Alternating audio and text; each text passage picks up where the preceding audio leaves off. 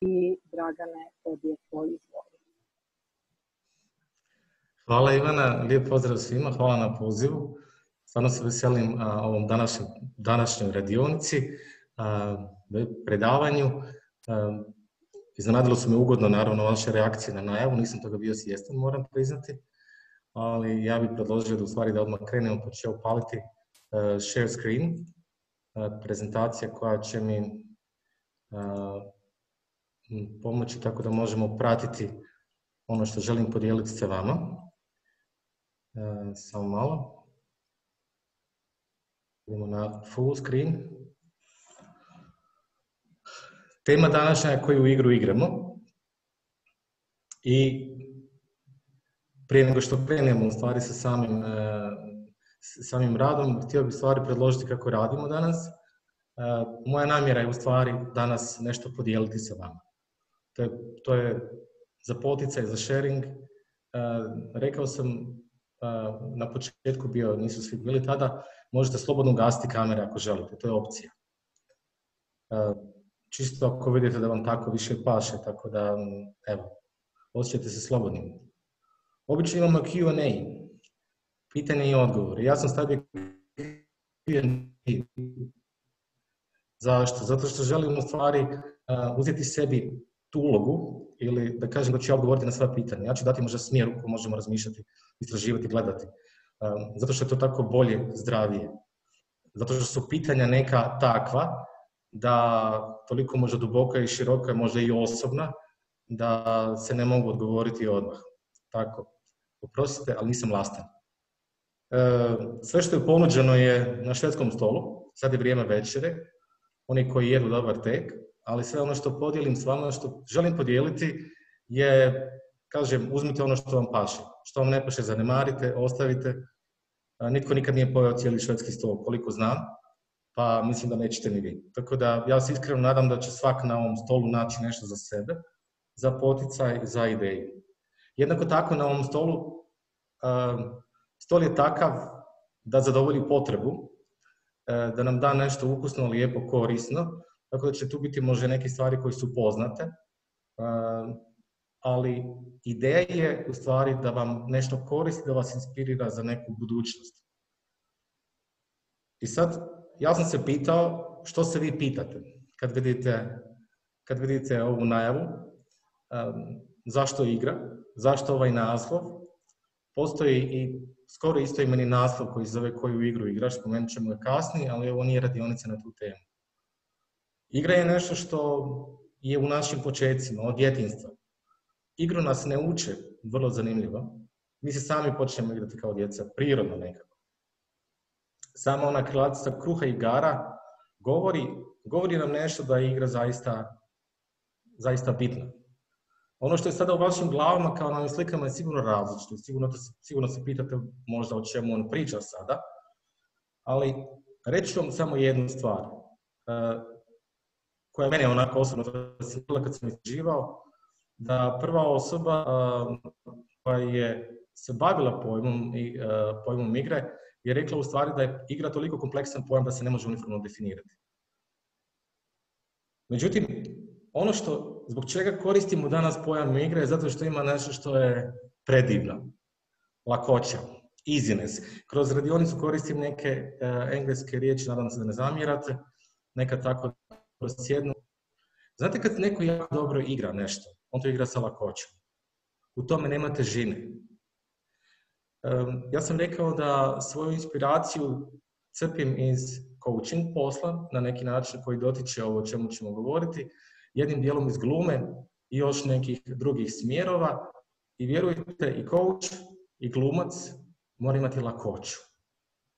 I ta lakoća je nešto što mogu samo izvrsni igrači. To je nešto, nešto što se ne može kopirati, što se postiže vježbom, ali to je neki naš cilj. Ta lakoća nam pomaže u puno situacija koje mi, koje mi prolazimo u, u poslu, svuda oko nas, tamo gdje su te finese presudne. Evo spominjemo na primjer pregovor. Pregovor koji vodite sa lakoćom je najbolji. Pregovor, ja volim pregovor i bavim se njima, i rekao sam jedno pravilo pregovora onaj tko se prvi naljuti i iznervira, taj obično gubi. Onaj koji igra sa lakoćom može i veću šansu dobiti. Igre o kojima danas govorimo su u stvari sve moguće poslovne situacije, neki odnosi, interakcije koje proživljavamo i ja bih vas zamolio danas da promatramo, da budemo promatrači, odnosno da se na neki način vježbamo promatrati scene, igre koje mi doživljavamo u našem životu kao da smo mi u publici. Zamislite nekad da sjedite u publici da, da vidite sebe na sceni, da ste vi dio te poslovne scene, da ste u nekoj interakciji, u nekom pregovoru, razgovoru. Zamislimo da smo na dronu pa da imamo onaj helikopter view ili tako, tako da kažem, ili zamislite u stvari, ako mi to sve promatramo iz neke perspektive budućnosti. Puno toga možemo dobiti ako stvari, ako se stavimo ulogu promatrača. E, izazov dana je ovaj. Promatrati, čuti i vidjeti bez suda neke osude i predrasude i svjesni da svi imamo neke svoje projekcije onoga što vidimo.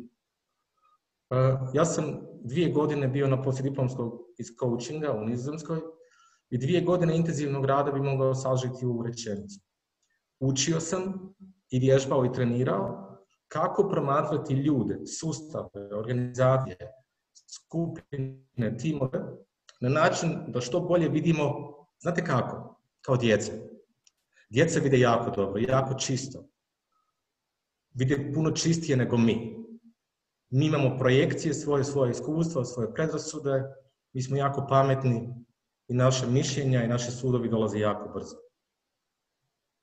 I to je u biti esencija coachinga, ali kada govorim, kada govorim o esenciji coachinga, ne govorim o esenciji neke struke samo kao takve, nego dijelim s vama zato što duboko vjerujem da svako to može integrirati u svoj posao, u svoj život u konačnici i da vam to može biti jedan veliki benefit. Ne kažem da trebate biti coachevi, ali danas se pogotovo u leadershipu često spominje da lideri trebaju biti coachevi. Dragi moji, to je prilično obrnuta logika, jer logika coacha je logika ne znam. Pristup ne znam, ali idemo istražiti. U najavi, ako ste pročitali, bile je, bio je spomenut waterpolo. Jedan jako poznat i miroljubivi sport, kad gledamo od ozgor, kad gledamo iznad vode, sve se čini jako mirno. I ja sam to nazvao sadržajem o kojem mi često govorimo, neki naš kontent o kojem mi argumentiramo, razgovaramo, međutim ispod razine te vode se odvija pravi proces, odvija se ona žestoka igra. I ta igra je u stvari jako zanimljiva. Ja ću zvati proces, način, igra ispod razine, ali ispod razine vode i ona je u stvari ona koja me intrigira i s kojom želim pozvati vas da pogledamo neke od igara koje se događaju oko nas i što sve možemo u njima vidjeti.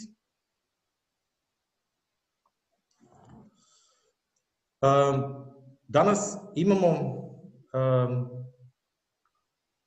danas imamo e, deset igara, e, deset igara pripremljenih za vas. Samo sada vidim da mi se, ovaj, ako dopustite samo da napravim jednu malu, malu samo pauzu, vidim da mi se u stvari aktivirala nešto starija prezentacija od ove. Ispričavam se, samo sekundicu, ako može da napravim... Da u redu, može. Ako može, stop sharing. Evo, nepredviđene situacije u životu su uvijek normalne. Da, nepredviđene situacije se događaju, evo. Da.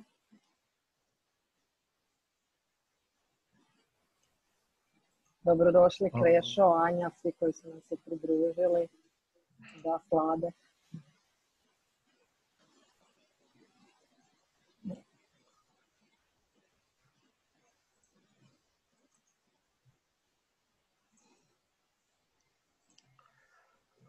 Ok, e, to je ta. Ispričavam se, vidite sada, vjerujem? Vidimo se.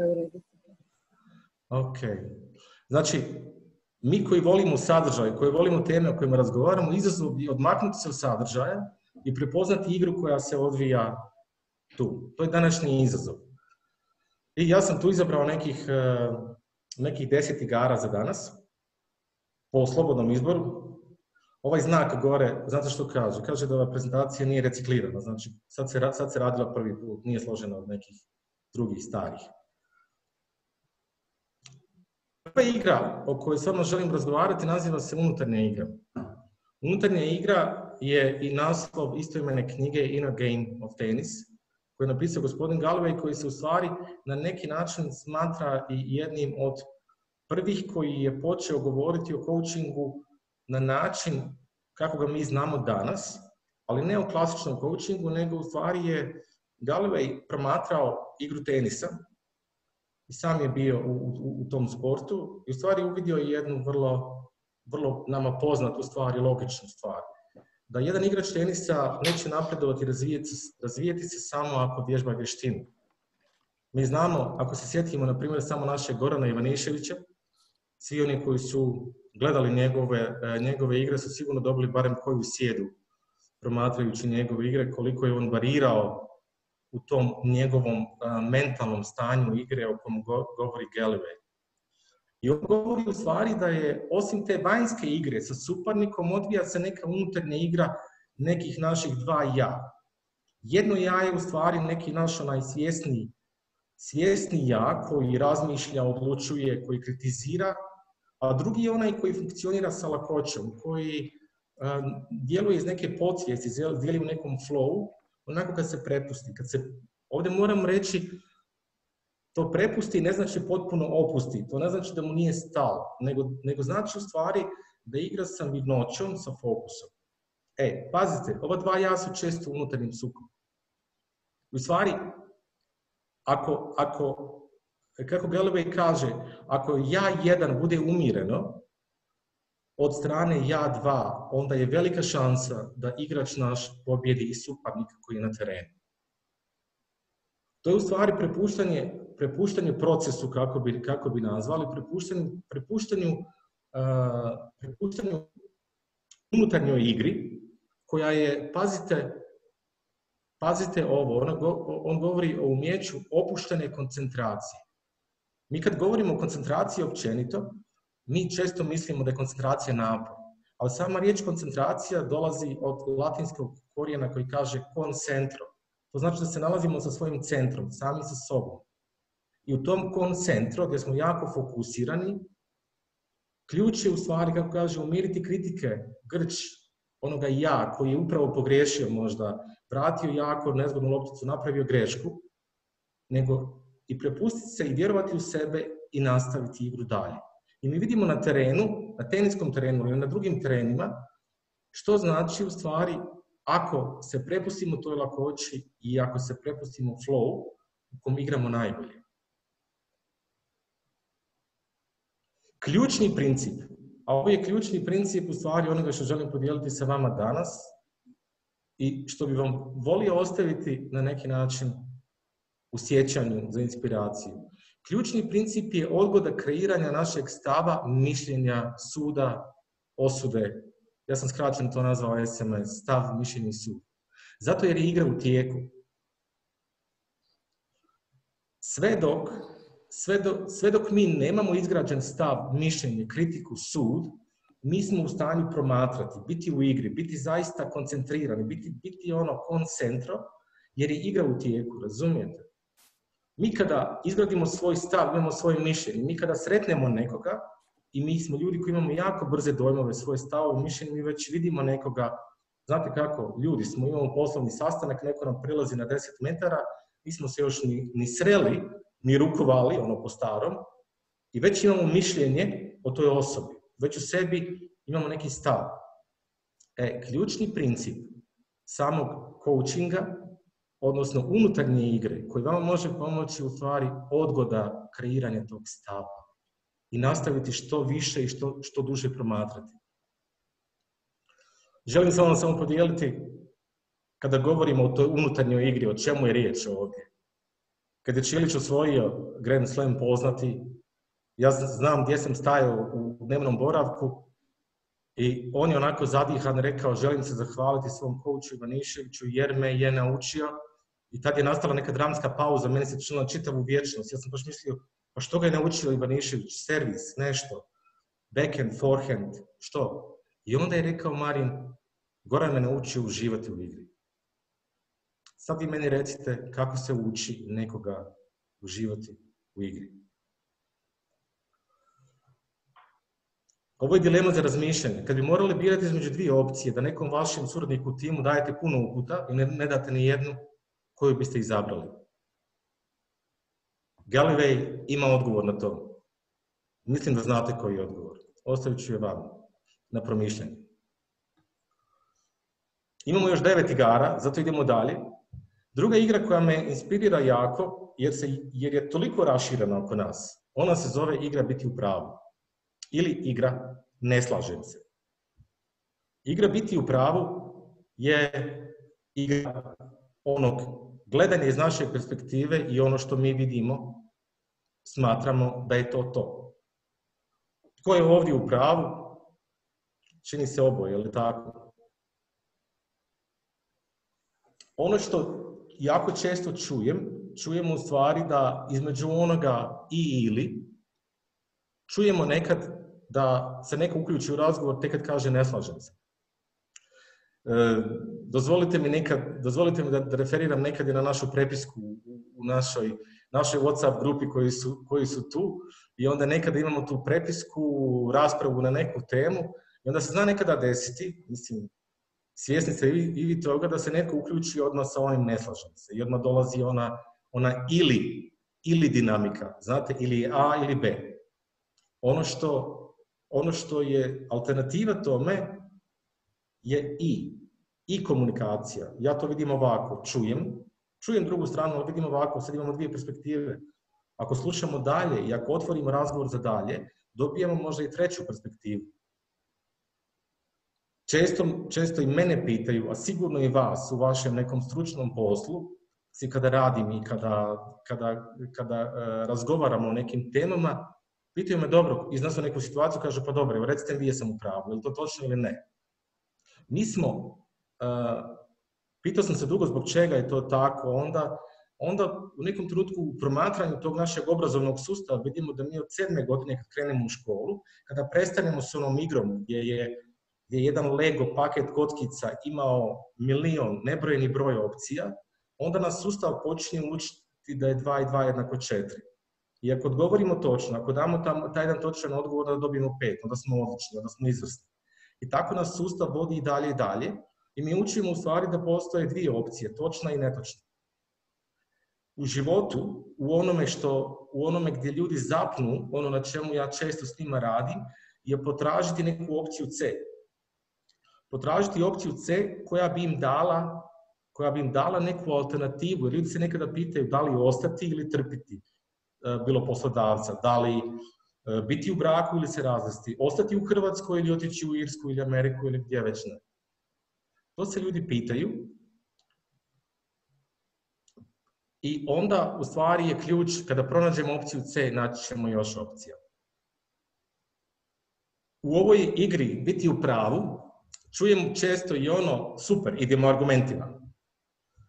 Čujemo to, ali što znači kad kažemo idemo argumentima? Što to znači u našoj percepciji? Kao da smo ispravni jer razgovaramo argumentima, razgovaramo argumenti, argumentirano. No, da li je argument jednako istina? Sad smo svi svjedoci predizborne kampanje. Ja ću koristiti neke primjere, ako mi dozvolite, svijeta oko nas. Ne da dajem sud o nekom, nego jednostavno mi vidimo sada puno naših kandidata iznosi argumente i ti argumenti su suprostavljeni. Koliko je argument zaista istinit? Ja bih ovdje htio spomenuti da u učenju kritičkog razmišljanja koje je navedeno kao jedna od top tri vještina koje ćemo trebati u narednih pet godina u poslovanju, znači imamo kritičko razmišljanje, problem solving i suradnja, većina istraživanja pokazuju da su to top tri vještine koje će nam trebati. U kritičkom razmišljanju mi učimo u stvari da argument nije jednako istin, istini i da postoji u konačnici dvije vrste argumenta. To je deduktivni argument koji može biti valjan ili nevaljan i da postoji induktivni argument koji je negdje na skali između onoga da je slab i jak. I onda je ključ onoga ko vodi debatu da pokaže koliko je taj argument jak. Neću ulaziti dalje u temu kritičkog razmišljanja, ali je ona predivna mene fascinira i u stvari kada upoznate sve više e, temu samog razmišljanja i promatrate igre oko nas, argumentirane, svakodnevno debate, borbe biti u pravu, onda igre postane još zanimljivije. Jedno me inspirirao kolega, jedan koji je davno rekao, kaže, život je vrlo jednostavan, kao u braku. Kaže, u braku imaš uvijek izbor, može biti u pravu ili može biti sretan. I onda se nasmijao i rekao, ja sam sretan. I u stvari kada čovjek gleda, mi imamo više tih alternativa tome, kada odustanemo od ideje da trebamo biti u pravu, možemo biti u odnosu, možemo biti mirni. I evo, napisao sam izazov, probajte zaista samo jedan dan, bilo prepoznavati te igre ili reći sebi ujutro kada krenete na posao, hajde danas neću biti u pravu, odnosno neću ulagati niti malo napora da bi bio u pravu. Probajte, ako, ako uspijete jedan tjedan, i kada prođete jedan takav dan ili tjedan, jedan, vidite u stvari što vam je tu nedostajalo, odnosno što ste dobili. Samim tim ćete vam se upaliti senzori da, da vidite u stvari koliko je borbe s druge strane ljudi oko nas kako bi bili u pravu.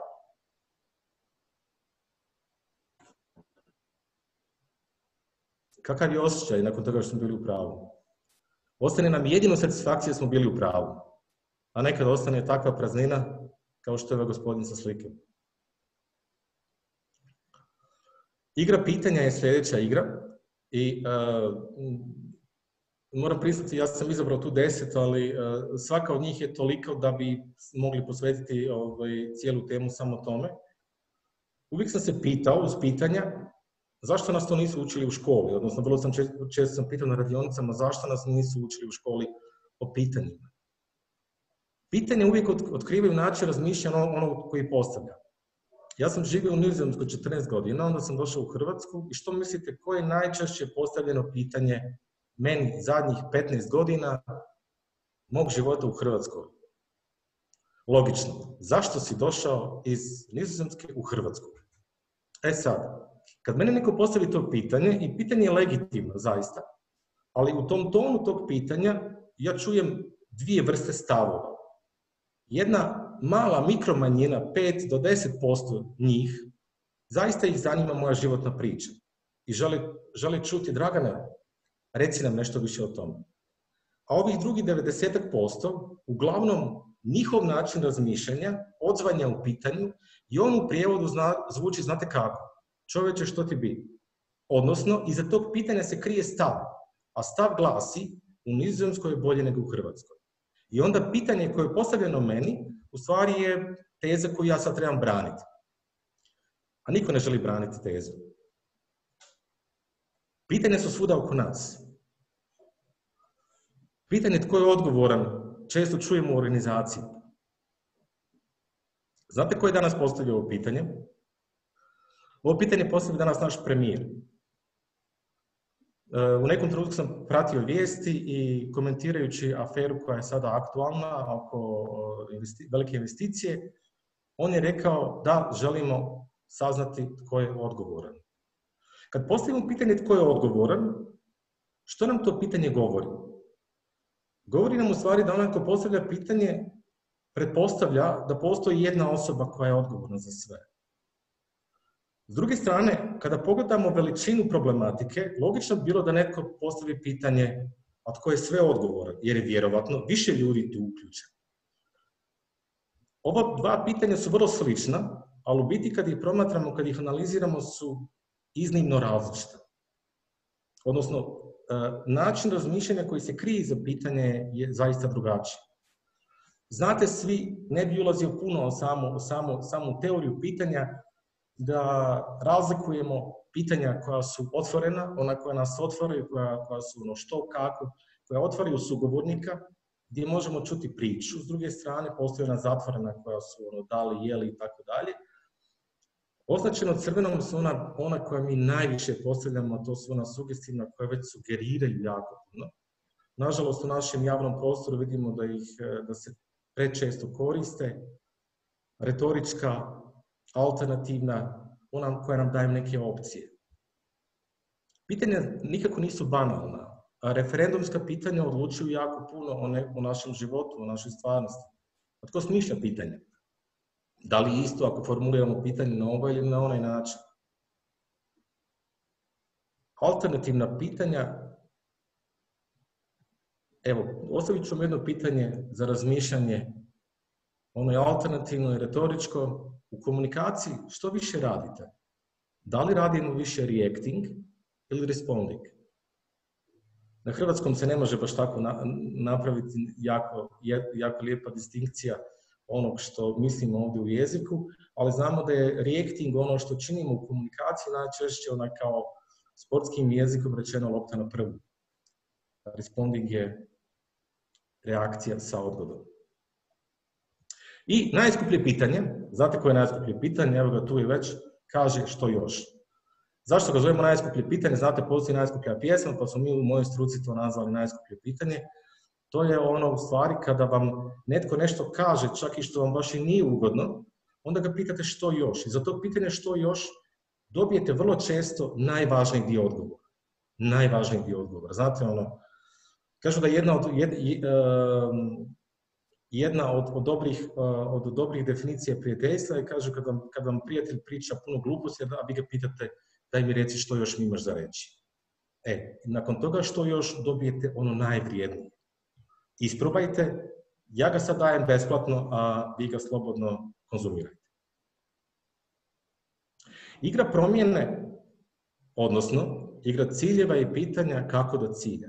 Kada govorim ovdje o promjeni, govorim prije svega o nekoj osobnoj promjeni. Ne mislim sada na organizacijsku promjenu, jer je uvijek tako jednostavnije govoriti o toj temi. Ciljevi su uh, oko nas, puno se govori o ciljevima.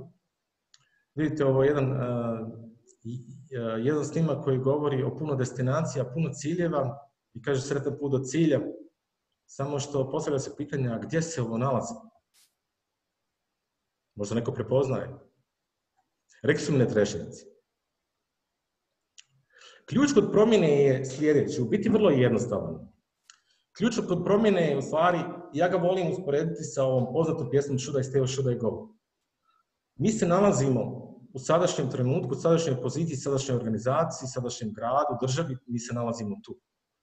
Kao što nam ona mapa na trgu nekom svakog grada kaže gdje se nalazimo. Želimo stići ili kažemo da želimo ostvariti neki cilj. To je druga točka.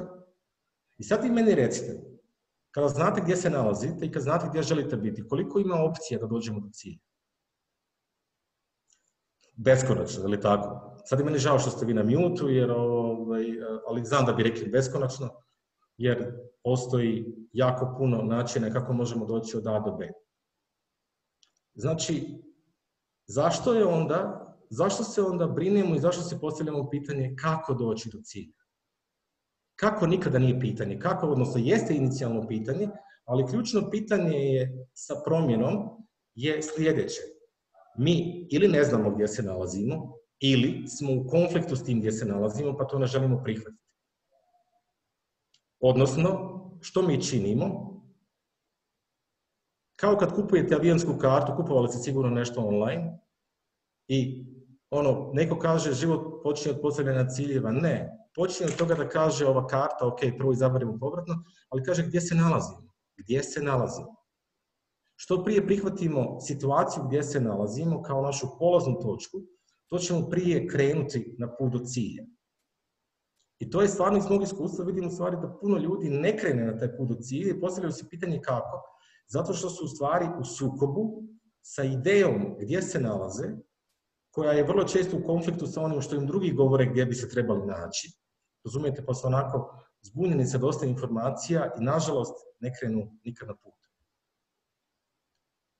Slična tome, ali malo kompleksnija je igra transformacije i razvoja, koja nekada zvuči kao kriza. Vrlo slično, mi se nalazimo u nekoj polaznoj točki. I kako je, kad govorimo o promjeni, onda govorimo o promjeni unutar nekog sustava, o nekoj modifikaciji unutar sustava, a da kada govorimo o transformaciji, onda znamo od kuda krećemo, ali tamo gdje stižemo, tamo gdje želimo stići, još uvijek nije jasno. I svjestan sam da organizacije, sustavi moraju kreirati neku sliku, neku viziju kako bi nam dali e, motivaciju, smisao zašto krenuti u, u, to nešto novo. Međutim, jedino što znamo u stvari da krećemo i napuštamo A i krećemo prema tamo. Ako se sjećate, prije par mjeseci, prije par mjeseci je uh, uh, bivši VIP, sadašnji A1, prošao rebranding i u nekom trenutku su rekli, mi više nismo Telekom, mi smo novi oblik života. Bilo je dosta, uh, dosta diskusije oko, oko te promotivne kampanje i što to jeste. Međutim, to je u stvari jedan primjer transformacije koja, koja govori da, više nismo to. Jedino što znamo je u stvari da krećemo i ovaj put transformacije ja, ja uspoređujem sa vožnjom u magli. Kada vozite u magli, vozite polako, znate, ne možete znati i vidjeti kilometar ispred, nego vidite par metara ispred. I na tom putu transformacije bitna vam je podrška, bitno vam je zajedničko otkrivanje, znatiželja, hrabrost i reći ću svakako, ako je za promjene dovoljno, dovoljno i potrebno biti pametan, uviđam da je za transformaciju ono, smart is not enough, trebamo biti mudri. Jer se ovdje radi o nečemu puno kompleksnijim, radi se o otkrivanju slike koja tek nastaje, jer mi nemamo sliku koliko će trajati taj put i kada će se on ukazati. Mi ne znamo kada će se dignuti magla, kada ćemo vidjeti konačnu sliku transformaciji i konačnog krajnjeg cilja. Znači, transformacija je u biti jedna velika avantura. Tako da, ako govorimo o procesima transformacije, ono što je što može biti greška u organizacijama koja se, koja, koja se događa je to da transformaciju definiraju kao projekt. Ali transformacija nije projekt, ona je putovanje. It's not project, it's journey. Dolazimo do šeste igre, igre ranjivosti. Igre ne znam, ili ja sam je nazvao smrt Supermana. Ona je možda svjesna ili nesvjesna, ono što kada gledamo, kada gledamo u nekom odnosu, u nekoj interakciji, u, u interakciji recimo voditelja tima i određenog tima i organizacije, ukupna odgovornost, zakon odgovornosti kaže ukupna odgovornost je 100%. Ako voditelj uzme 90%, onda timu ostane samo 10. Ključ i neki turning point, točka preokreta koja se desi kod, kod voditelja u odnosu na njihove timove, na organizacije, iz mog iskustva je, govorim iz iskustva, kada je zaista se ono, je voditeljima bila puna kapa i stali su pred ljudi i rekli su ljudi, ja stvarno više ne znam. To je bio taj trenutak kada su pokazali da nisu supermeni, da su ranjivi i da je tim napokon mogao preuzeti tu odgovornost i da napokon mogao reći, ok, evo nas sada tu. Zato je potrebna ljudskost, zato je potrebno um, ha, priznanje, hrabrost, kako god to nazvali, ali bez te ranjivosti zaista nema iskonskog, iskonskog vodstva, iskonskog leadershipa o kom govorim. Jedan od, od, jedan lijepih aspekata, aspekata ranjivosti je priznanje grešaka i mi vidimo cijeli trend u svijetu oko nas koji govori o sastancima gdje ljudi dijele svoje greške. Evo, kad je Deutsche Telekom krenuo sa tom inicijativom prije godinu dana, znači možete zamisliti sastanak menadžera gdje svak treba iznijeti neku svoju grešku i što je naučio iz nje. Jako je bitno i jako je bitno, i to želim naglasiti, pogotovo za naš kulturološki e, kontekst ovdje gdje se nalazimo, kod nas ovdje u Hrvatskoj pa i malo šire, kad se govori o odgovornosti, razgovor brzo sklizne u roku par sekundi na temu krivnje. Kada pitamo od koje je odgovoran, obična reakcija nisam ja kriv. Tema odgovornosti je drugačija od igre krivnje. I ona je jako, jako interesantna. No, prelazimo na broj 7. Igru generacije želim ostaviti malo prostora i za pitanja. Pa, uh, gejmeri svih doba. Kad sam promatrao u stvari različite generacije i kad ih promatram inače u svom poslu i, i vi u svom, radimo sa različitim heterogenim skupinama, onda se govori, jedna generacija govori o drugoj, ovi su ovakvi, oni su onakvi. Onda sam ja se pitao, pa dobro, ako bi ja bolje razumio, kako bi ja bolje mogao razumjeti sve te naše generacije, bez da sudim te generacije, onda sam u stvari išao promatrati i pozivam vas u stvari na ovaj, možda i neki zajednički brainstorming kasnije ili sada promišljanje. Kada gledate generacije, kakve, kakve igre, igrice igraju različite generacije, odnosno kakve igre vole igrati. Ja sam iz one generacije kad si igrao basket na ulici, nogomet, pa bi se tu dobro oznojilo, trčalo, uh, popijete dosta vode. Ne trebate, ne trebate ništa osim lopte i, i trebate vrijeme. Uh, dajete se puno u toj igri, imate puno interakcije, imate puno tog timskog. Kada gledam sam gaming danas, koji je meni jako fascinantan, zanimljiv i, i sa, sa iznimnim poštovanjem gledam na to to ono, i uh, industrija u velikom rastu kod nas, ali kada gledam onako, kad promatram što radi jedan gamer, on igra igru, igricu, jako lako uđe u nju, za to mu je potreban neki ono, device, znači ne ekipa od 5-6 uh, ljudi, znači jako lako ulazi u igru i jako lako izlazi iz igre. Kada govorimo o aspektu grešaka koji sam spomenuo kao malo prije, starije generacije se puno, puno teže nose sa greškama. Za mlađe generacije je napraviti grešku, to znači, ok, idemo igrati novu igru. Znači, nema, nema onoga što stariji kažu nekada, stariji roditelji kažu pa ovi mladi nisu samo kritični, nisu lojalni. Ne, nije da oni nisu samo kritični, nisu lojalni. Oni su samo spremni za novu igricu. Reset igramo dalje. Znači, u stvari, ako promatramo koje igre igraju generacije, tako ćemo bolje razumjeti naše generacije, ali zaista ako promatramo ono što, što čine.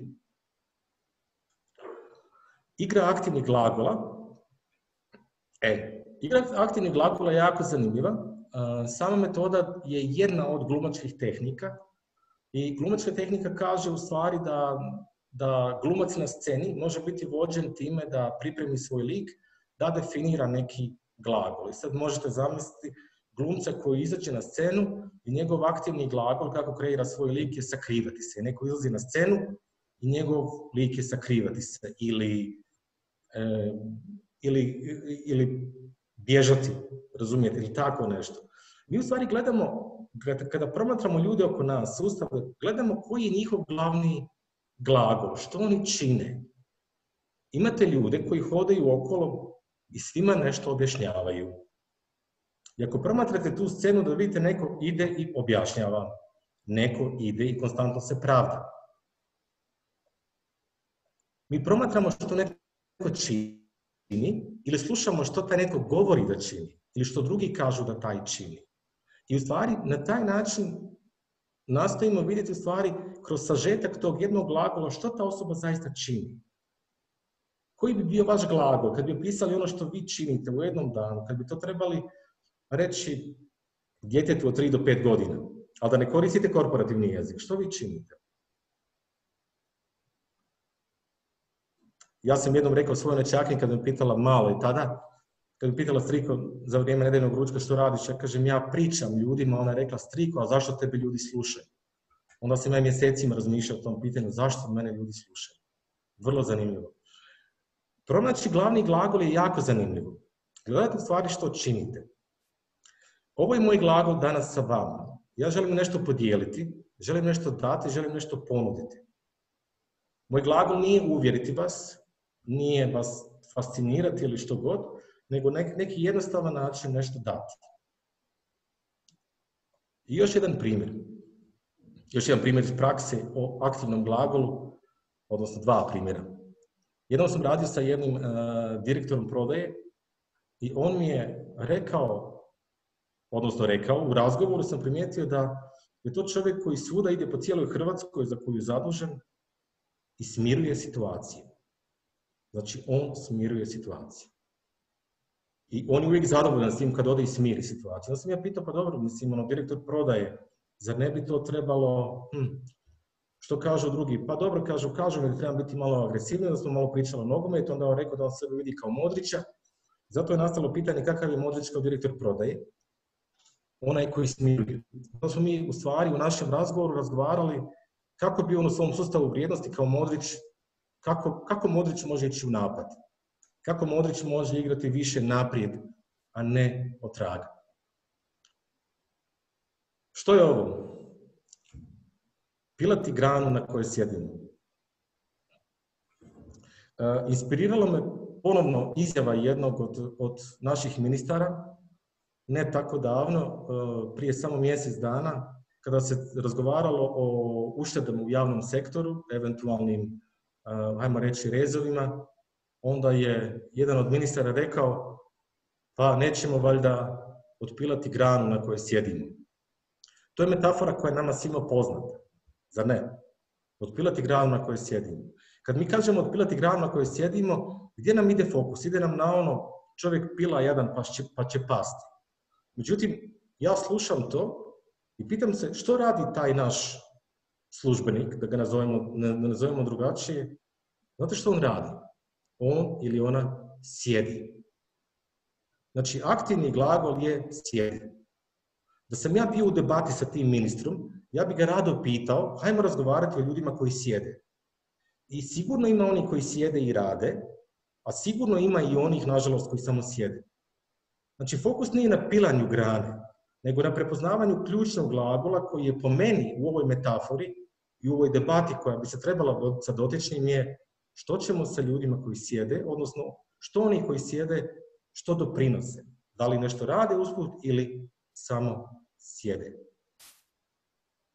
Aktivni glagoli su fenomenalni i u stvari sa žetkom aktivnih glagola je vidimo bit onoga što netko čini. Dolazimo do igre broj 9 i ostale su nam dvije još jako zanimljive i onda dolazi vrijeme za pitanja. Odnosno, ako ima neko, kako bi rekao, burning question, ako neko želi postaviti, ja sam otvoren za to. Mislim da možeš slobodno nastaviti, evo i u četu je već jedno pitanje, pa samo ti završi. Dobro, Igra ego, stanju, igra, ego stanja je uveo gospodin Eric Bern upravo u istoimenoj igri uh, koju igru igraš ili Games People Play. I uh, govorio je u stvari o metodi koja je poznata kao transakcijska analiza.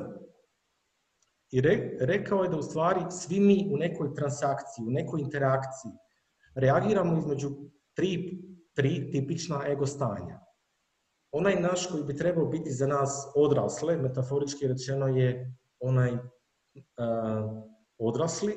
Međutim, kad se postavimo superiorno, onda, se, onda, onda komuniciramo i djelujemo iz uloge roditelja.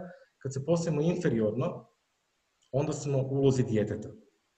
U nekoj interakciji, odnosno tom u ego stanju imamo dvije osobe i u biti onaj zdravi odnos Neovisno o tome ako se vi nalazite recimo u organizaciji, neovisno o hijerarhiji, vi imate osobu koja je odgovorna s druge strane i vi želite u stvari da su ljudi u vašoj organizaciji, u vašem okruženju odgovorni, da preuzimaju odgovornost i da komuniciramo i da djelujemo kao odrasli i odrasli. Međutim, život nije takav. Mi nekada komuniciramo i kao dva roditelja, pa se onda u stvari smo onako dva borca za ono koje biti u pravu, ko je pametniji, tko zna nešto više ili tko može nešto više. I imamo dvije dominantne figure. Možemo imati dvije, dvije inferiorne uloge djeteta i djeteta. Zanimljivo postaje situacija koja nam je poznata u životu, a to je u stvari kad se neko postavi dominantno i kaže nekome mora što ili treba što, i to može biti iz uloge bilo da smo kritični ili bilo da smo brižni. Brižni roditelj će reći djetetu ili će reći svom članu tima neka, neka ja ću to napraviti. Ili, i na taj način se to dijete ne razvija i ne postaje odrasli, nego i dalje u toj dinamici tog voditelja i člana tima imamo odnos roditelja i djeteta. Ili, to dijete, taj član tima kaže, joj, ja vam to ne znam. Ja sam tu nova. Ili, ili znate, onu poznatu frazu, joj, meni to tako ne ide, ali vama to ide tako super. Mislim, ja, evo, ja, ja radim prezentacije ili ja, ali vi to radite puno bolje. I što roditelj nasjedne na to. Ili, e, dosta radionice radim, radim na temu kako voditelji trebaju postavljati više pitanja. Znači, dođu, dođu ljudi i pitaju voditelja nešto i voditelj po defaultu dobio pitanje, evo ga rješava problem, da odgovor. Koliko često vi zaista, kao voditelji, ulozi voditelja, postavite pitanje toj osobi reci mi, a što si ti do sada probao, što si ti napravio po tom pitanju? Pa neka ljudi kažu pa sve, onda pitate što je to sve. Znači ova dinamika roditelj i dijete je nažalost jako, jako česta.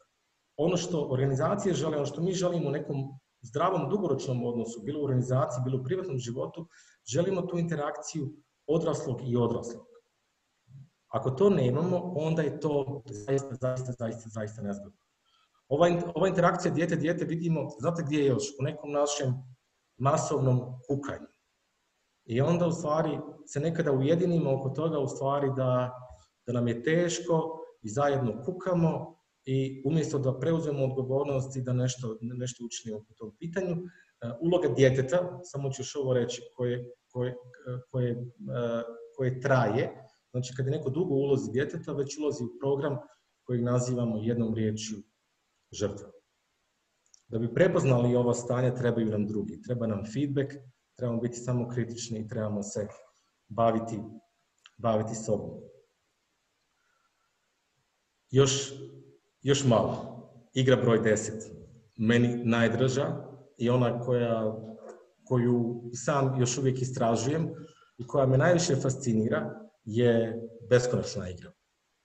Beskonačna igra za one koji su čuli je pandan konačne igre. E, neki su možda čitali knjigu Teorije igara, ali ono što je došlo u zadnje, e, ne tako davno, e, kod nas je isto imena knjiga od Simona Sineka, Infinity Game, i upravo govori o sljedećem. Simon Sinek koristi ovdje jednu od, jednu od povijesnih metafora, odnosno činjenica, a to je američko-vjetnamski rat. Što, govori, što nam govori američko-vjetnamski rat?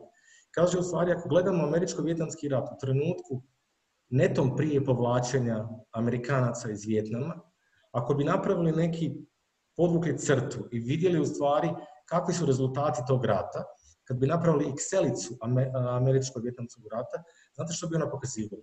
Pokazivala bi da je Amerika napravila znatno više štete, puno više je uništeno e, vjetnamskih e, resursa nego američkih. Znači, netko da je tada ocjenjivao pobjednika, rekao bi Amerika je pobjedila Vjetnam.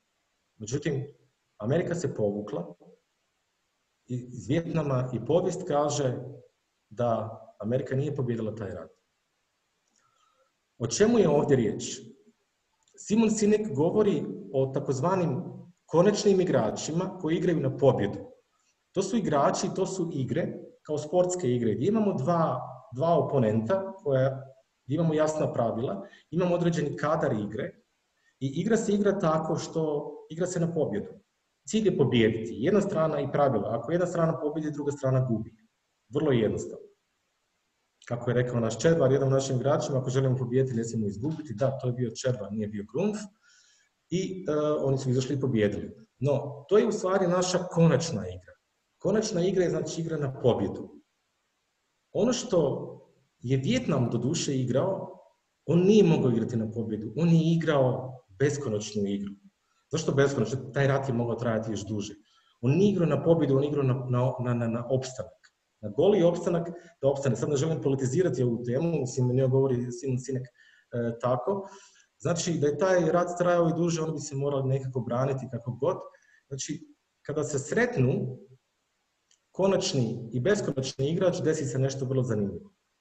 Naš, naš konačni igrač stvari igra kako bi pobjedio, a beskonačni kako bi ostao u igri.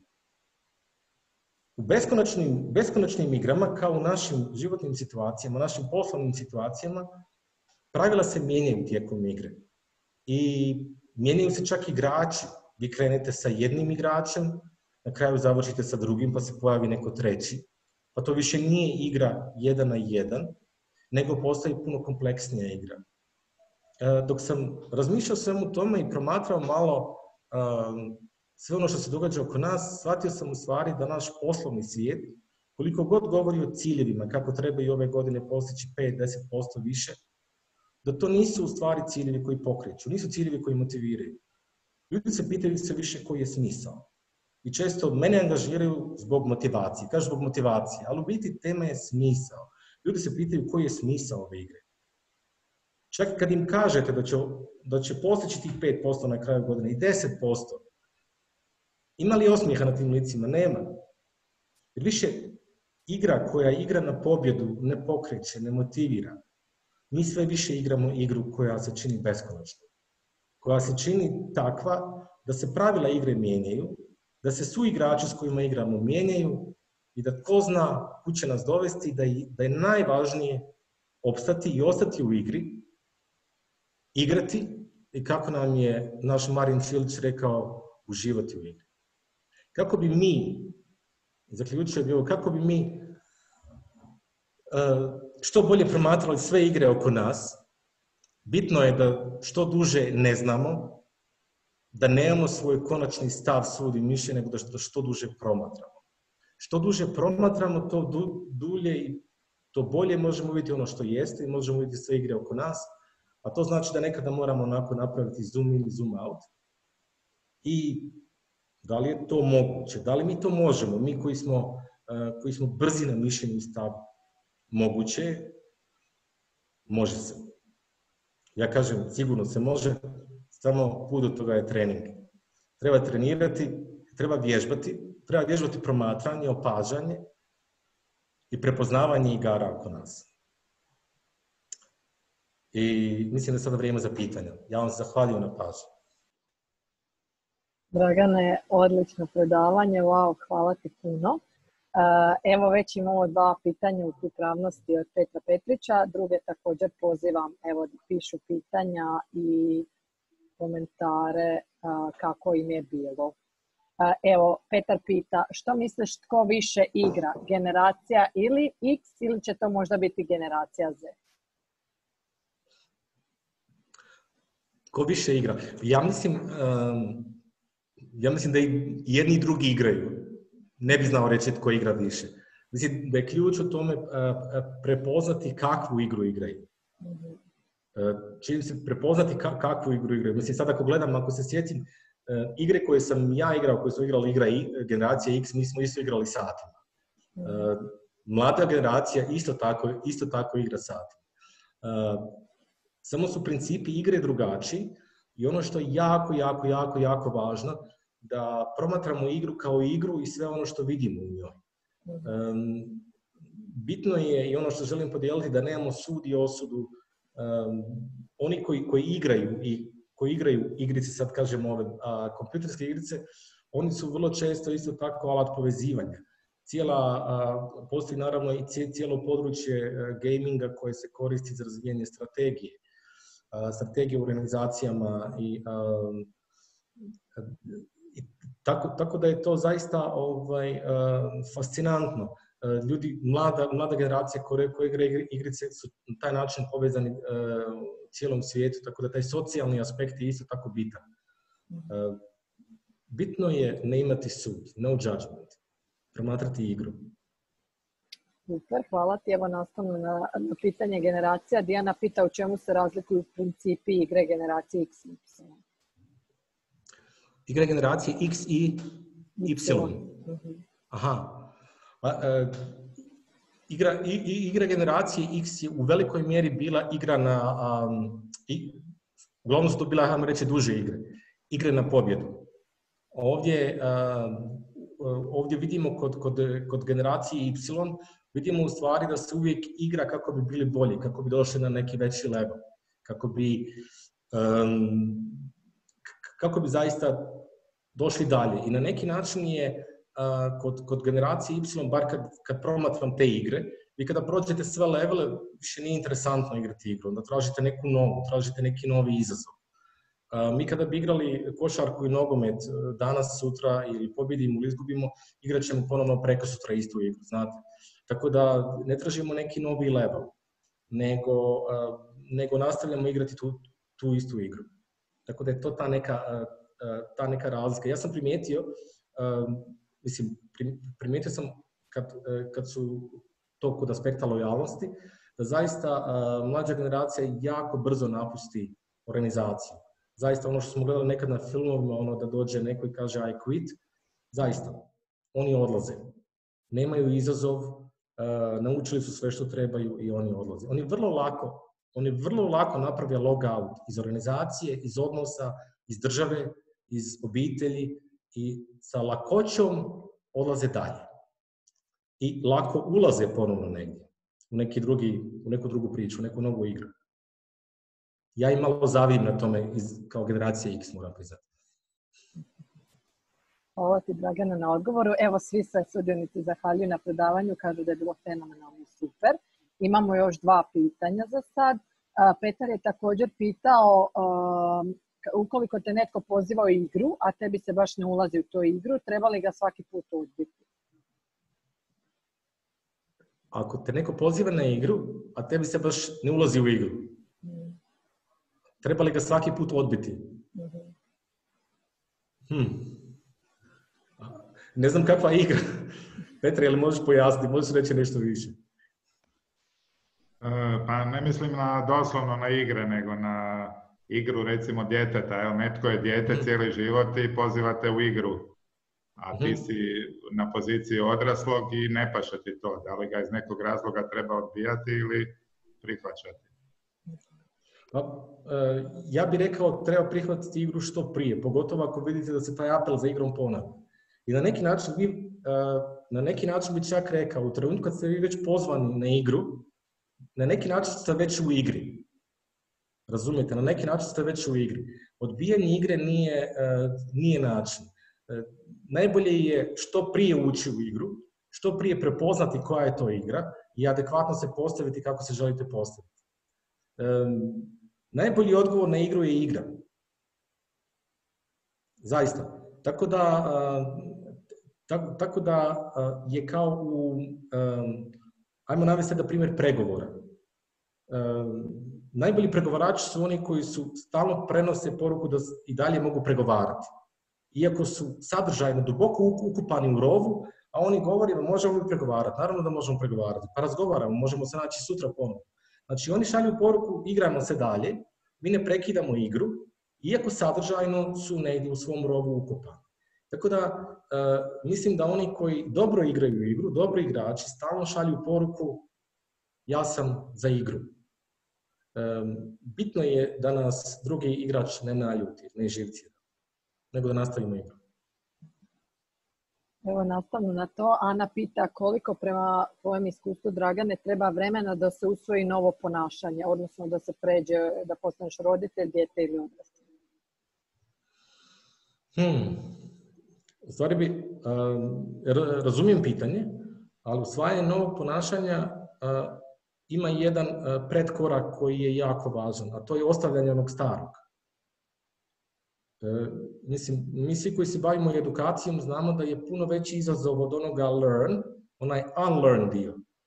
Odnosno, kad razgovarate sa voditeljima, da li želite dobiti iskusnog čovjeka u timu koji misli da zna ili vrlo mladog koji zna da ne zna onda svi kažu ovog drugog da će ga lakše naučiti. Znači, onaj taj proces odučavanja je jako nužan, bitan, e,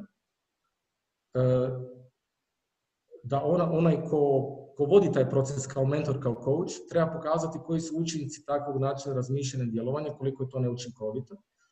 I u stvari raditi, e, pokazivati neke druge opcije. Znate, ja bi to, ja bi to rekao metaforički ovako. Mi imamo svoja usvojena ponašanja, svoje navike. To mi je kao kad imate staru kuću, znate, pa je nastojite obnoviti. Ko ikada renovirao staru kuću zna da je to rupa bez dna. Da vam je to stalno nešto ulažete, ulažete. E, e, usvajanje novih vještina i ponašanja bi bilo kao da gradite jedan novi objekt na tom istom terenu i lagano se useljavate u njega. Ovaj stari će sam odumrijeti. Sam će se urušiti, tako da kažemo. Na silu to ne ide. Na silu to ne ide, zato je potreban proces. Što se tiče samih navika, znate sami to, ono, 21 dan kažu radite nešto to postane navika, ali sve ono što hrane uvjerenja, zato je potrebno preispitivanje uvjerenja i, i neko vrijeme. Super, hvala Dragana. Imamo još dva pitanja, relativno slična. Imaš li iskustva kako se pojedine od navedenih generacija nose s navikima, navikama jesu li recimo generacije Z kao najmlađi najspremniji promijeniti navike, odnosno, e, evo, ajde prvo to pa ćemo.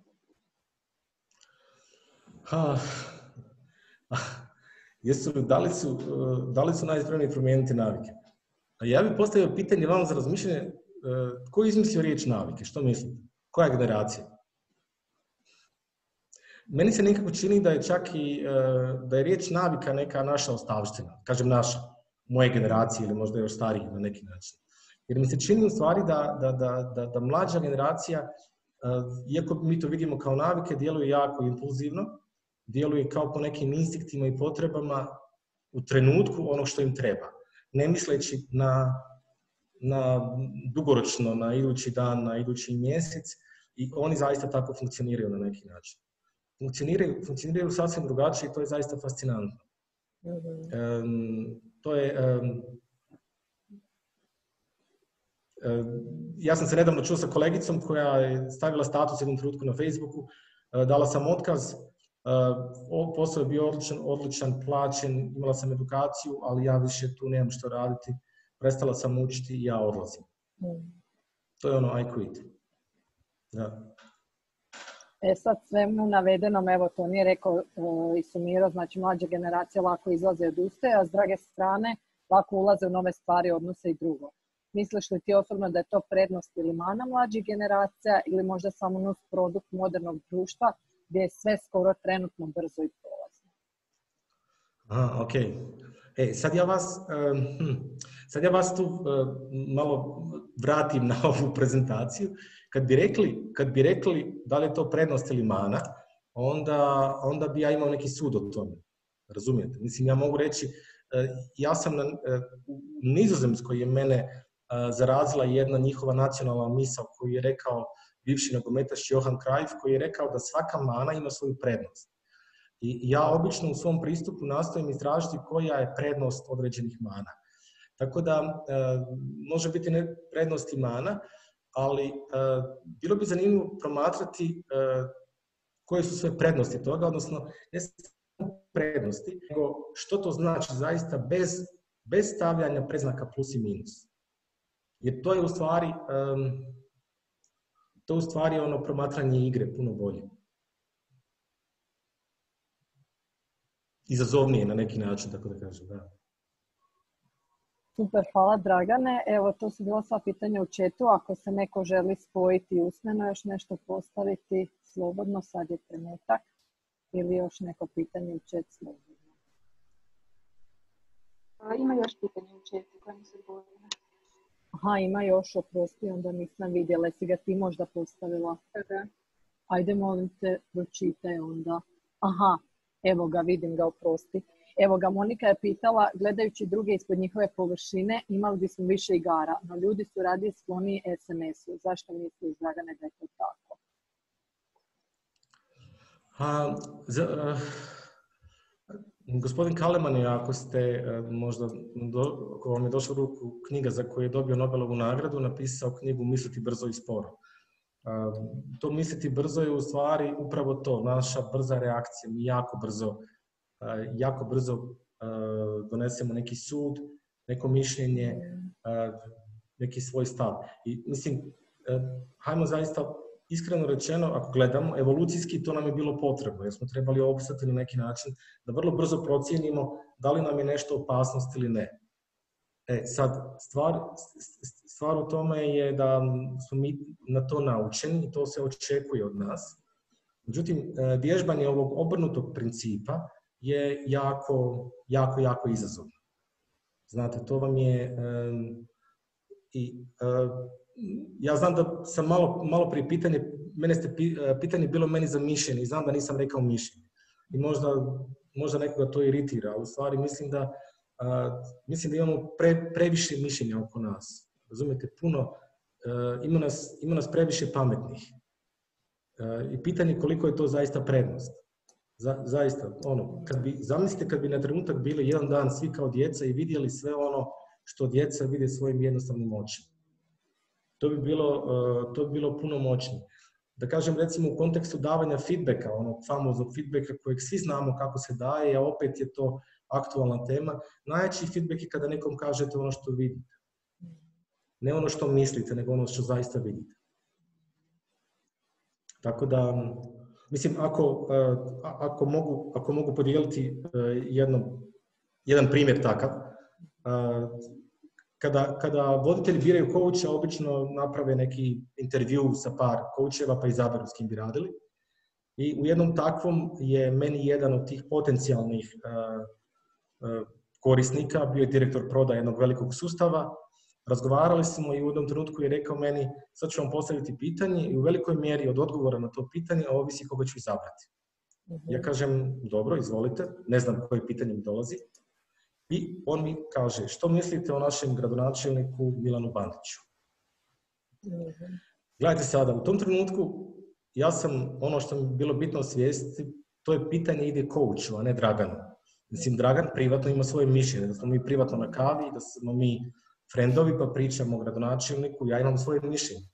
Ali kao coach ja sam onaj koji promatra i koji ne bi trebao imati sud i osudu.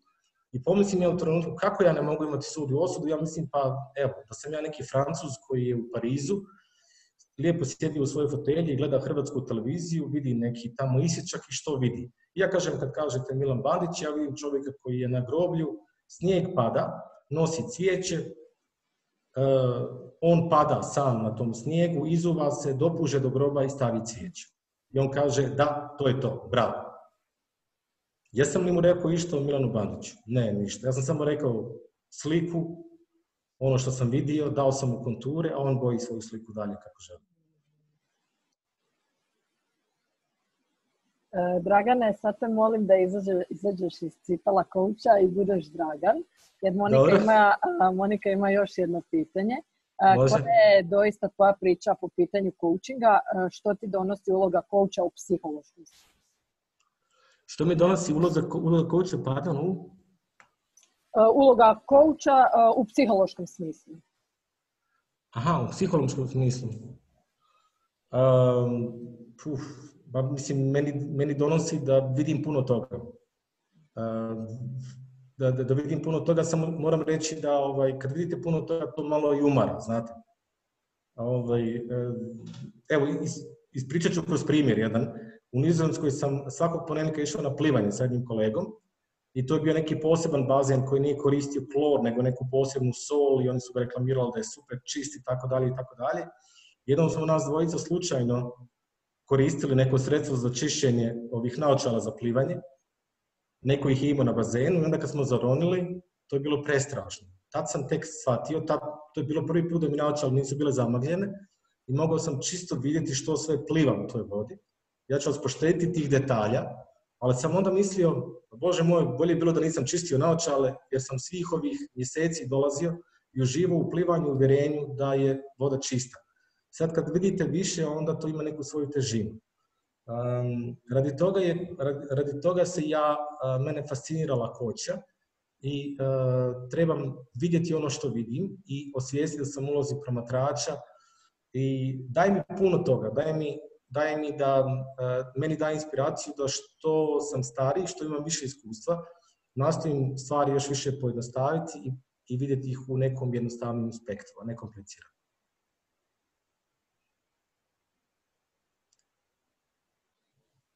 Jesam odgovorio, Monika? Je, kaže Monika da jesi. Evo i Dijana se uključila, a tko god izabere coaching ili bilo koju profesiju, podrška je u svom koru davatelja. Isto referenca na Moniki ima dodatne pitanje da li kao coach da vidiš ili da i daješ. Ja, prosti, opet nisam čuo, ovaj, je li možeš ponoviti, molim samo malo glasnije ako može? Kažem, da li je samo uloga promatrača ili uloga i davatelja, jel? kao kouča? Pa sada moram, moram reći da se stvarno i sa vremenom evolutivno uloga kouča mijenja na neki način ja isto, ja isto promatram da je mislim, i, i promatrač ste i dajete nekada i nekada je nekada ljudi zaista trebaju i podršku koja je koja nije samo coaching, koja ima elemenata, ajmo reći, i mentoringa i konzultinga i kombinacije nečeg drugog. Tako da u stvari opet iz tog promatranja gledam koja je kompilacija, što je potrebno za, za, za tu osobu. Znači, na prvom mjestu meni nije čuvati sada da kažem moramo raditi čisti coaching, nego na prvom mjestu je ta osoba. Ta osoba da dobije u stvari ono što je potrebno. A coaching je često u stvari na neki način pripremanje terena da bi ta neka druga, neka druga transakcija sjela bolje na, ovaj, na plodno tlo. Da. Super, hvala ti puno na svim odgovorima. Evo, e, Dijana isto zahvaljuje, mora ići. Bog, ako još netko ima pitanje, evo, sad je vrijeme da se uključi. mm Stvarno je bilo super, tako da hvala ti. Evo Silvije, vratio bi se na početak kada je rečeno da se danas od lidera vođa zahtjeva da budu koučevi treneri, a svakom tko nekoga vodi najveće zadovoljstvo uspjeh osobe koju vodi. E, da, ono, potpuno se slažem s tim i to je u stvari to u stvari, kada vidite u stvari da je to, da se ta osoba razvija, onda je to u stvari najveća stvar. Kako kažu, kažu da, kažu da drugoligaši stvaraju treće ligaše, a prvoligaši stvaraju izvrsne. Znači, najljepša je stvar vidjeti uspjeh kod drugih, tako da ovaj, barem za, za mene je to najveća inspiracija i mislim, mislim da, se, da se veliki voditelji prepoznaju u, u tome. Anja, imate vi možda pitanje? Čekajte da vas stavim na unmute. Ja ću se unmute. Evo, Evo, ja sam se unmutala. Ja sam nova u vašem društvu, ja sam dobila poziv ovaj, da se priključim od jedne HR gospođe koja nije mogla prisustvovati. Ja sam inače coach u njenoj kompaniji. Tako da ja nisam voditelj, nego sam ja isto coach. I onda mi je bilo jako ovaj, ugodno slušati Dragana i njegov pregled kroz svu literaturu koju mi coachevi naravno znamo. Tako da je stvarno napravio jedan lijepi izbor od, od najvažnijih uh, klasika, recimo, uh, ovaj coach teorije. Tako da puno hvala Draga. Eto, šta je bilo pitanje u stvari? Šta ja imam dodati ili reći? Ili... Pa ne, upalili ste kameru pa sam pretpostavila da se osjećate ugodno da bi nešto rekli. Jer sam vidjela da ste vi svi na kameri pa mi je onda bilo ružno da se skrivam iza svoje mlađe slike pa sam onda pokazala ko sam ja u stvari. Jedna veteranka, evo ga, to vam je to. Super, hvala. Evo, vezano uz ovo što ste ispomenuli, Monika pita Monika, to sad upućeno Draganu ili Anji ili svejedno, smatrate li da bi svaka kompanija trebala imati unutar age departmenta coacha? Ovo je zapravo izvršno pitanje, mene zanima. Da, naravno. Ne baš svaka, ali da, mislim da je važno. A Dragane, šta vi mislite? Pa, sigurno bi imala benefit u stvari da ima, da, da ima coacha. Ono što ono, ono što je moguće, što je, što je da kažem, već par godina u svijetu je neki trend, da se ljudi unutar kompanije educiraju za coacheve i da recimo možda 80% vremena rade svoj posao koji rade inače, a neki 20% vremena su dostupni za svoje kolege za, za, za coaching razgovor. To je kada govorimo o internom coachu. Interni coach versus eksterni, svaka, svaka varijanta ima svoju prednost interni poznaje organizaciju, što i prednost i nedostatak. Ovaj vanjski može uzeti malo odmaka, može biti neutralni, ali može isto tako u nekom aspektu lijevati više povjerenja, jer je zaista vanjski.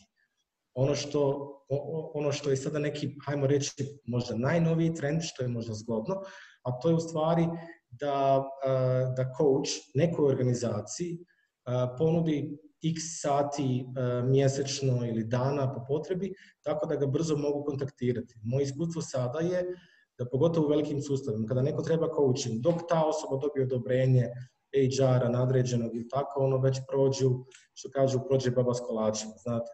Neko kad treba coachu treba prilično, treba, treba sada. Jer e, neke stvari ne riješiti, onda kad su aktualne, mogu zaista koštati organizaciju, ljude, tim, tako da je timing, ono, timing jako bitan. Ako smijem dodati, ja mislim da je važno da e, svaka kompanija ili firma, manja ili veća, e, uvodi nešto što je coaching culture. Nije nužno mhm. da ima nekog coacha, jednog coacha, sada ne znam nekoga, Ali coaching culture je ono što je Dragan rekao, da se ljudi educiraju, da znaju voditi coaching conversation, coaching razgovor, je jako, jako važno. I vidjela sam pitanje da li svatko može biti pa u principu to je vještina koja se uči, ali naravno da ljudi moraju imati neku unutrašnju predispoziciju da bi mogli biti coacheri. I ovaj, kad sam ja, vani sam se educirala, kad sam ja bila primljena na, na ovaj tečaj za, uh, za kouča, uh, bilo su važne i godine. Naime, mlađi ljudi se nisu primali. Ja sam postala coach, ja sam coach već deset godina. Da, ja sam postala coach sa 13 godina, sam coach sa 50 godina. Da. I onda je to bilo normalno. I to je bila takva ekipa oko mene. Bile su dvije mlađe žene koje su za nas bile mlade 38 e, godina. Jedna od 35 je aplicirana i nije bila primljena. Da. Ali to je Institute for, for uh, Leadership and Coaching u, u, u Engleskoj. Oni, oni to tako gledaju. Tako da ovisi. Mislim da in, inner coach, internal može biti svako ko želi. Ako ima vještine. Da li smatrate da je empatija ključna vještina? Da li je empatija ključna vještina? Da, bi... da, duboko slušanje, empatija, da, u svakom slučaju je to jedna, jedna od jako, jako važnih vještina, da.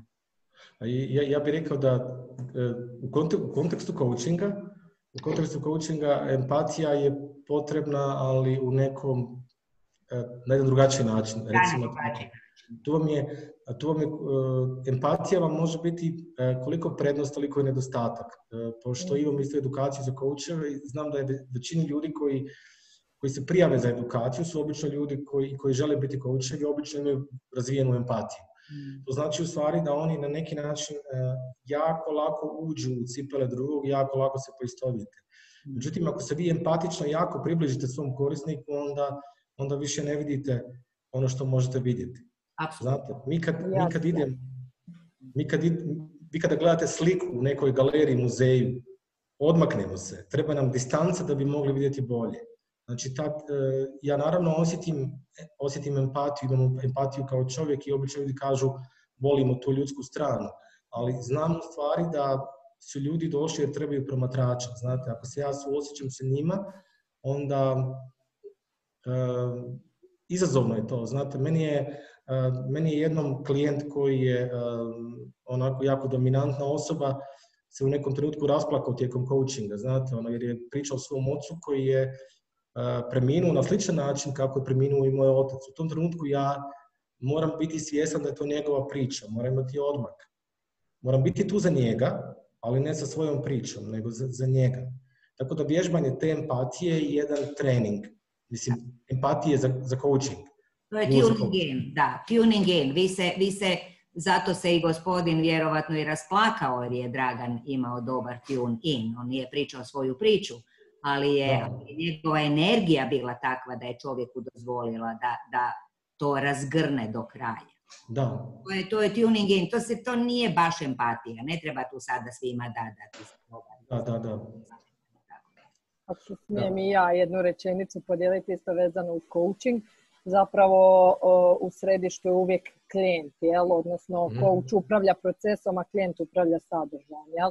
I ovo što je Dragan rekao, to sam baš ja pitala, znači ako se klijent rasplaće, mi, nismo, mi smo tu ulozi coacha, ne prijatelja, tješitelja i svega. Mi se ponašamo s odmakom kao da čitaš recept za juhu. Ono, znači, mm. Na taj način mu ti najbolje pomažeš, a naravno da su osjećaš s njim.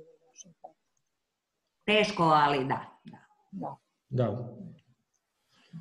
Da, tu, mislim, u, u, u, takvim situacijama, u tako nekim, e, pomažu neke glumačke tehnike koje su, koje su fenomenalne, ovaj, koje su zaista izvrsne, e, mislim, i tehnike iz nekih drugih područja, tako da kažem, ono, sama veština coachinga nije samo uči, učiti kako coachati, jer u coachingu ćete se susreti sa situacijama i stvarima kakve nikad niste, e, kakve nikad niste sreli, razumijete? Tako da, ovaj,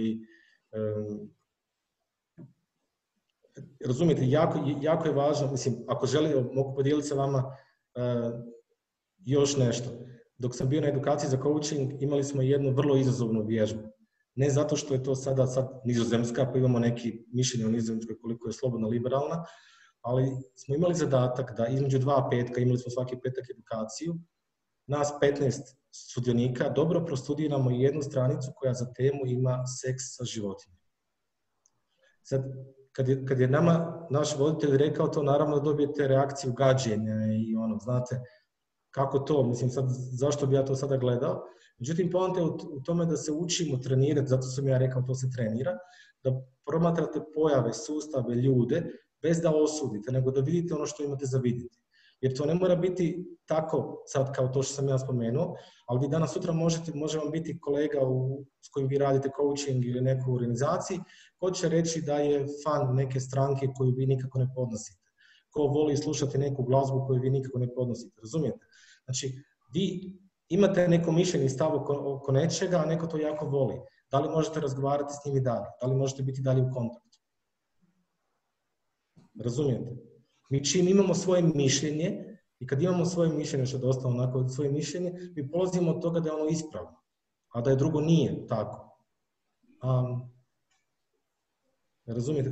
To je vrlo, vrlo zanimljivo, vrlo kompleksna materija. I ono, uči se, trenira se. Baš kažem, trenira se.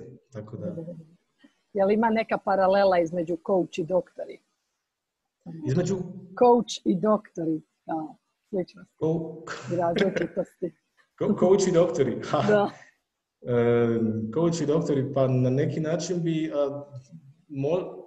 ja bih rekao, evo, nisam, nisam razmišljao o tome, ali recimo i, razgovor coacha i doktora počinje, počinje slično u stvari. Vi želite čuti što druga osoba ima za reći.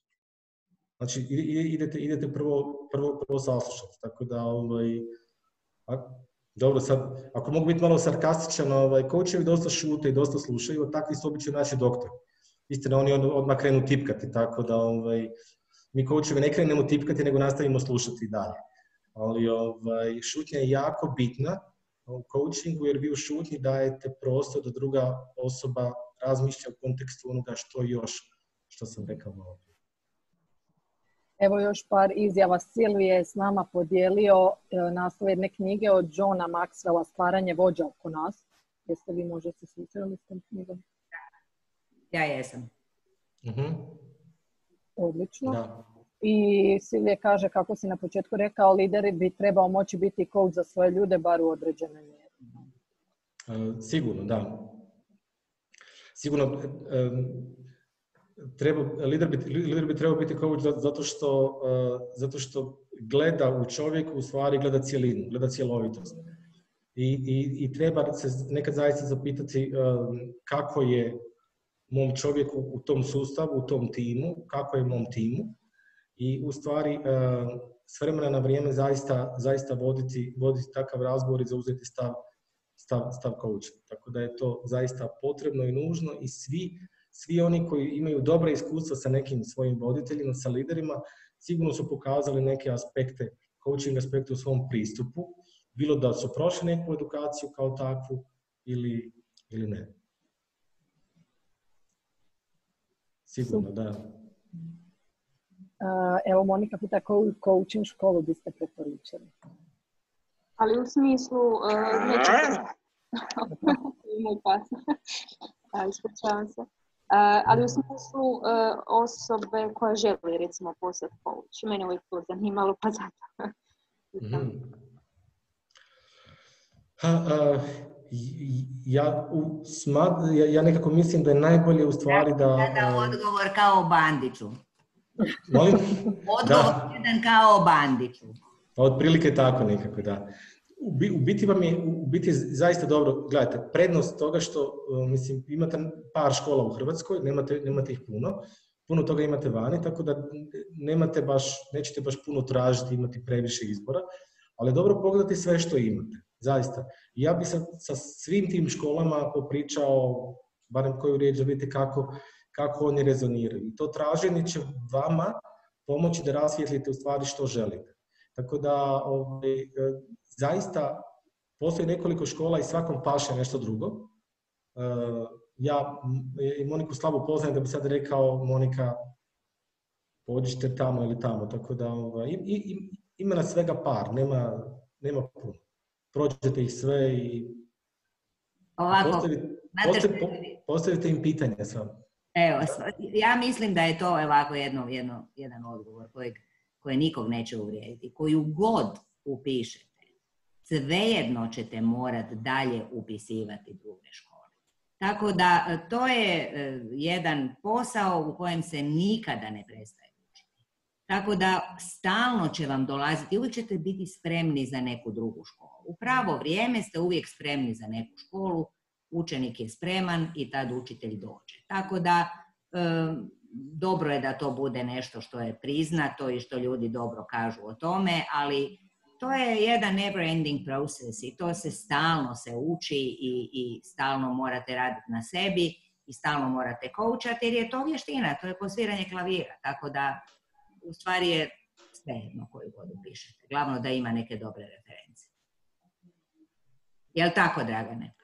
Tako, ja mislim, svako od vas ko- koga zanima nešto više možete se javiti, naravno, tu smo u udruzi, kontakti su tu, slobodno se javite ako želite više informacija ili ovaj, tako da, evo. Mislim, pošto, pošto i sam imam školu, nastojim uvijek reći što sve ima i ostaviti dalje na izbor svakom, tako da ovaj, Super. najbolje je da svaki ide tamo gdje mu odgovara, stvarno, zaista to mislim. Mislim da smo otvorili prostor da definitivno imamo pokloniti znanje tema samo coaching. Tako da, eto, pamtimo i bilježimo. Dobro, zanimljivo, hvala. Da. A, jel ima još pitanja? Evo već je pola osam ili je to to. I molim vas ljubazno sve komentare u Whatsappu. Hvala još jednom Draganu na predavanju. Hvala svima što ste bili aktivni na chatu. Hvala. Pa da. Hvala. Hvala svima, baš mi je bilo zadovoljstvo i promatrajte bez Hvala. SMS-a. Uživajte. Hvala. Evo lijepi pozdrav svima. Pozdrav, Doviđenja. Bog, bog.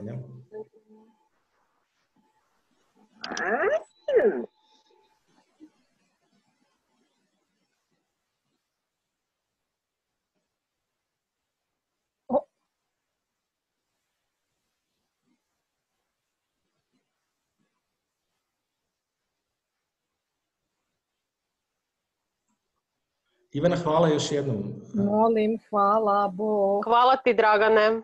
Bog, Bog. Hvala, hvala Bog, lijep pozdrav. O, Ja još nisam izašla, moram neke tehničke stvari napraviti. Još sam se.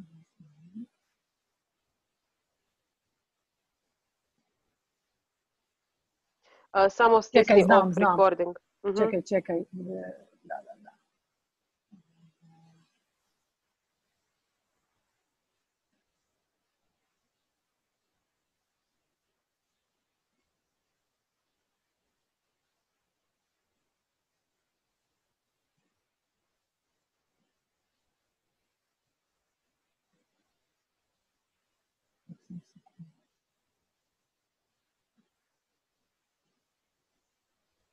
To da ja ne mogu major? Reci. Aha, evo čekaj.